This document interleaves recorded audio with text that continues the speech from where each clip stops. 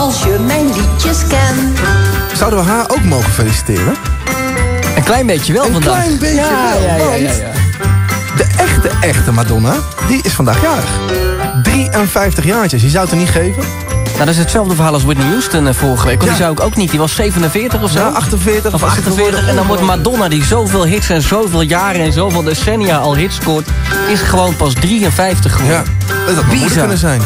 Ja, inderdaad. Hoe oud is jouw eh 53. Ankie? Die is 53, Ankie ja. is 53, Oh, God, ik mis het trouwens. Ik heb jouw moeder al lang niet meer gezien. Dan moet je binnenkort maar ook een dingetje. Lekker weer hutspotje komen eten Ja. bij de vrouw. Hé, hey, maar de Dutch Madonna zingt voor ons iedere week een eh, liedje. Een Engels liedje dat zij vertaalt in het Nederlands. En dan wel op haar eigen manier. Ja, dat doet ze heel erg goed. En het is aan jou om te raden wat ze precies zingt. Dus welk liedje het origineel zingt zij. En vandaag, als je de opgave goed raadt... heb ik een heel mooi exemplaar voor in jouw cd-kast. We hebben namelijk de week-cd van Lenny Kravitz klaarstaan.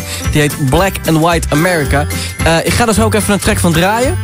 En eh, nou ja, laten we dan maar gewoon de Dutch Madonna een liedje zingen. Ja, Dus- mocht je weten wat ze zingt, sms het dan door naar 3333. Dan maak jij dus kans op die week-cd Black and White van Lenny Kravitz. Ik denk dat ik, ik denk dat ik, ik denk dat ik het leuk vind. Oh, ik denk dat ik, ik denk dat ik, ik denk dat ik het leuk vind. Oh. Ja, een perfecte vertolking. Nou, weet jij welk liedje de Dutch Madonna heeft gezongen? Laat het even weten en stuur je antwoord. Plus je naam naar 3333. Luister deze week exclusief op 3fm.nl het album van de week. Lenny Kravitz, Black and White America. Ehm, en eh, ja, Wijnand. Aan de telefoon een fantastische zus. Ja, dat is echt heel lief. Daphne, Hi. ha- hallo. Hallo. Hoe is het? Ja, goed. Ja, Daphne, Beetje ik heb, mijn zus is echt een schatje. Dat moet gezegd. Maar eh, jij mag er ook wezen hoor. Ja, dat dacht ik. Zo. Mag wel gezegd worden. Is, eh, is je broertje jarig? Of is er een andere reden voor het cadeautje? Nou, eh, zijn jas was gestolen uit de kroeg. En toen, eh, of, ja, daar zat ook zijn mp3-speler in. Dus eh, vandaar. Dat is niet tof. Maar, maar, maar jij geeft hem dus een nieuwe mp3-speler.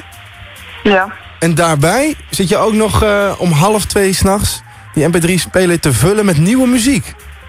Ja, maar kijk, ja, ik ga morgen op vakantie en ik had beloofd het te doen. Dus eh, ik ga het nog even snel afmaken. Waar ga je naartoe op vakantie, Daphne?